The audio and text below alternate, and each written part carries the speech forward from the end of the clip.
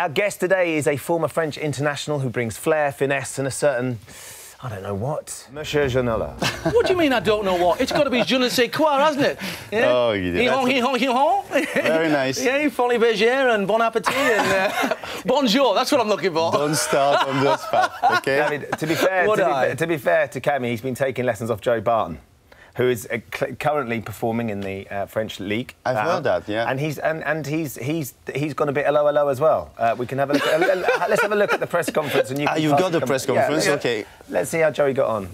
I'm English. I'm English. We we play the game aggressively. You know, it's it's normal for us. As I say, yesterday I make one tackle, and all everybody speak about is this tackle. Nobody speaks about uh, the 50-yard pass that kills Balmon and, and it causes a red card for him. Uh, it's ma maybe the one criticism of the French league is it's it's a little bit uh, boring.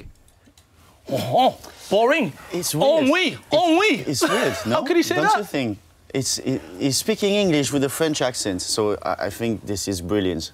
Just the fact that I'm thinking about myself arriving in Newcastle, speaking in French, in actually in French, with a Geordie accent. it would have been the weirdest things in the world.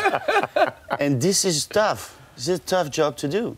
Doing an interview in France, in English, with a French accent.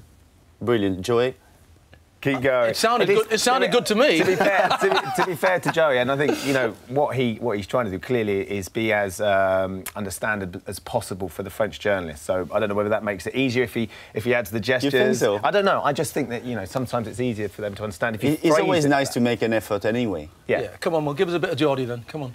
Oh, jij mijn. When you like them. very much.